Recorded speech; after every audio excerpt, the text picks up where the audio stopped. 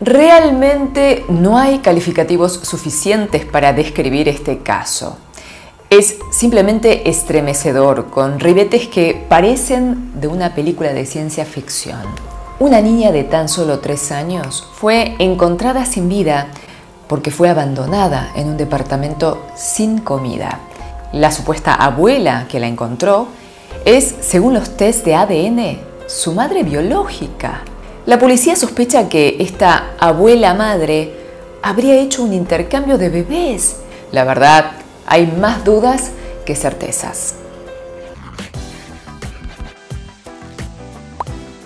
안녕하십니까 진이 채널에 환영합니다.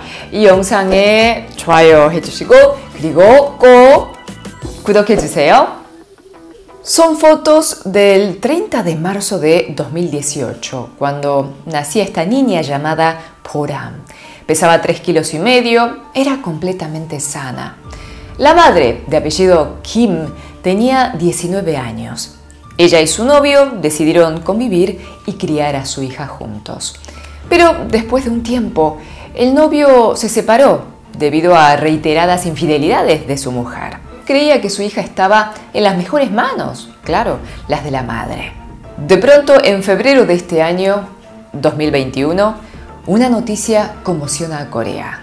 Fue hallada esta nena de tres años ya en estado de putrefacción debido al tiempo que había pasado abandonada, varios meses. Su madre había rehecho su vida con otro hombre y la había abandonado en la casa. Esta mujer fue detenida y está bajo investigación. Pero en esta investigación se reveló un detalle que hizo dar un giro al caso en un 180 grados. El ADN de la niña coincidió en más de un 99% no con la supuesta madre, sino con la supuesta abuela de apellido Sok. O sea, según estos tests, la supuesta madre Kim estaba criando a su hermana. Y se supo que la supuesta abuela Sok, de cuarenta y pico de años, fue la primera en encontrar el cuerpito de la niña el día anterior al hallazgo policial e intentó deshacerse del cadáver en una caja, pero no lo pudo hacer. Todo esto habría sido en complicidad con su hija Kim. La que era hasta ahora abuela Sok niega rotundamente ser la madre biológica. Dice que nunca estuvo embarazada y que los cuatro test de ADN que le hicieron están erróneos. Se encuentra, por supuesto, detenida bajo investigación.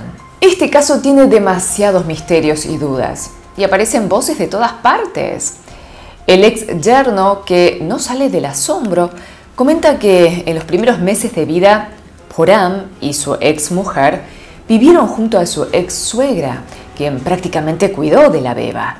Pero se pregunta entonces ¿dónde está su bebé? Si la niña que falleció es la hija de su ex suegra. La policía sospecha que esta señora, Sok, quien según los tests es la madre biológica, podría haber tenido en secreto a la beba e hizo el intercambio con el bebé de su hija en algún momento que no se sabe bien.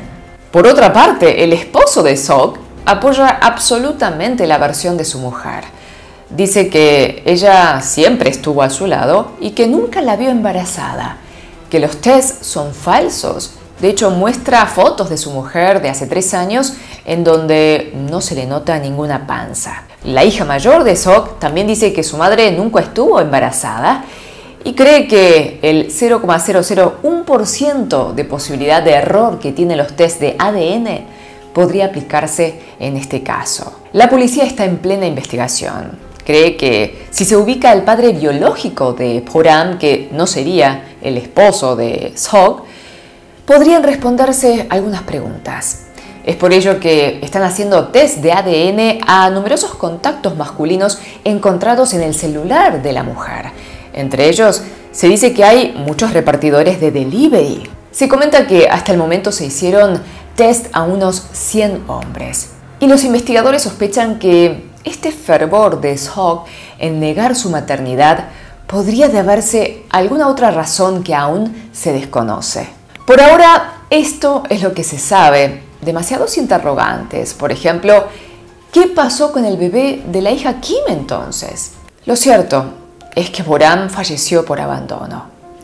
es un caso que mantiene en vilo a la sociedad coreana y puede tener giros o novedades inesperadas en cualquier momento. Los voy a mantener informados, así que los invito a suscribirse al canal con la campanita y estar en sintonía también de mis otras redes sociales. Una noticia triste hoy, bueno, a veces nos toca lindas y otras veces realmente lamentables. Gracias eh, a ustedes por su interés en la cultura coreana eh, y gracias también por estar ahí firmes en Genie Channel. Cuídense mucho, que son muy valiosos. Nos vemos en la próxima con otra historia coreana. 다시 만나요.